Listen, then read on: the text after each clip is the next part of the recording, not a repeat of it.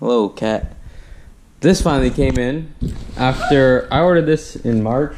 This is the packaging, a lot, a pretty big box, but then that's it. Well, let's let's unwrap it. Okay, wait. Whoa! It's a carbon fiber diffuser for the Z. All right, let me let me unwrap this one.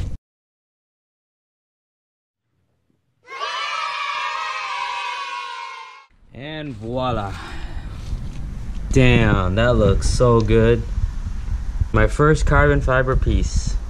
And no, it's not really on. This is literally test fit, but it's proper. So this fits really good.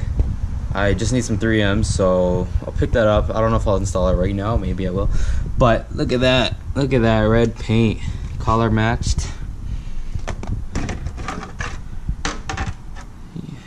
Gotta, gotta keep the real Nismo look, you know?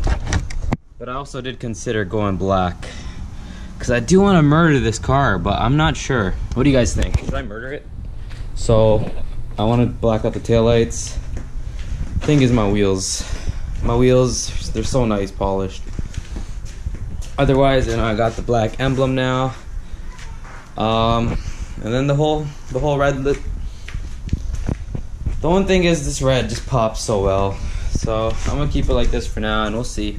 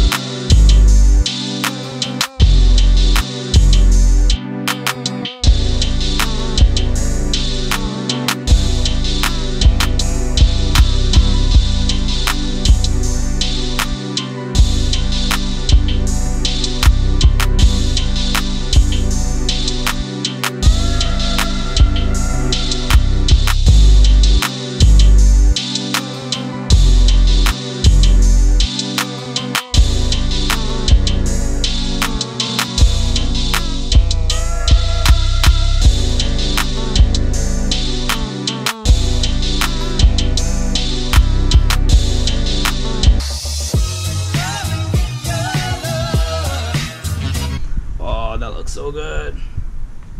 Now, just need an amuse wing.